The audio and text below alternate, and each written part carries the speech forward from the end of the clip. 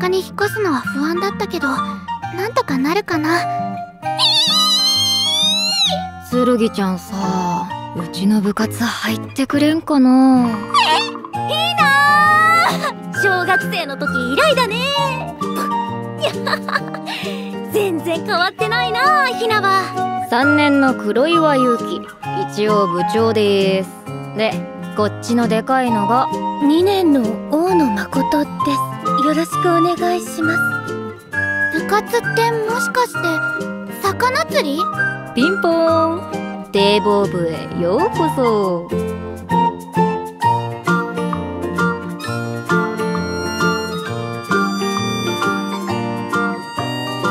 放課後堤防日誌。2020年4月。放送開始ばいよろしくお願いします